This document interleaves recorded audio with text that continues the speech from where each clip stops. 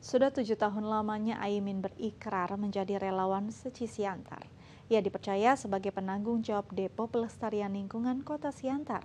Setiap minggu ia menjemput barang daur ulang lalu memilahnya dan banyak berkah hidup yang ia rasakan. Salah satunya kepuasan batin karena sudah menolong banyak orang dan turut melestarikan lingkungan.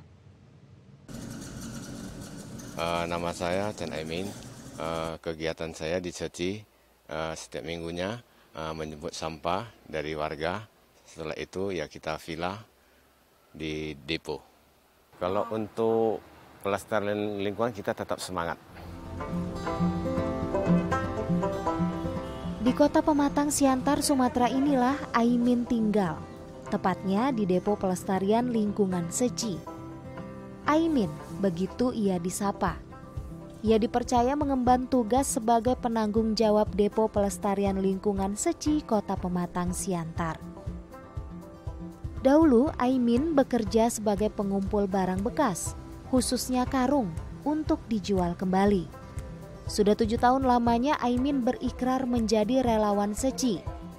Jalinan jodoh ini berawal saat ia diminta datang ke Depo Pelestarian Lingkungan Seci untuk memilah barang daur ulang.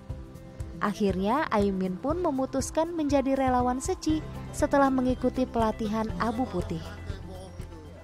Saya mengenal Seci dari Jamin Halim Sesiung. Saya disuruh datang ke depo dar ulang. Uh, saya datang setelah beberapa bulan saya ikut di acara dar ulang. Uh, saya timbul rasa kepedulian saya. Setiap minggu Aimin menjemput barang daur ulang dari rumah warga. Kegiatan ini ia lakukan mulai dari pukul 8.30 pagi hingga pukul 15 sore. Aimin tidak merasa malu atau jijik ketika mengangkut barang daur ulang ini. Justru ia merasa malu jika tidak ada barang daur ulang yang dibawa pulang ke depo.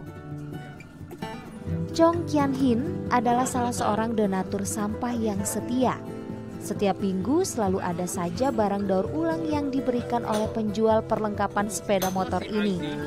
Beberapa di antaranya seperti karton bekas, botol, dan plastik bekas. Jiwanya terpanggil untuk bersumbangsi sekaligus melestarikan lingkungan. Untuk membantu rakyat-rakyat kecil itu Ya kalau kita sendiri aja kan nggak nggak sanggup gitu. Kalau rame-rame kumpul-kumpul, nah, bisa lu. Di depo, barang-barang daur ulang ini kemudian dipilah. Dari memilah, Aimin merasakan kebahagiaan tersendiri karena apa yang ia lakukan ini adalah upaya menyelamatkan bumi, sekaligus mengembangkan misi amal kemanusiaan dari hasil penjualan sampah kita ya itulah menyelamatkan bumi ya kan. Uh, di samping itu ya kita dengan ada ikut di seti ya kita pun bisa membantu uh, bagi warga yang kurang mampu.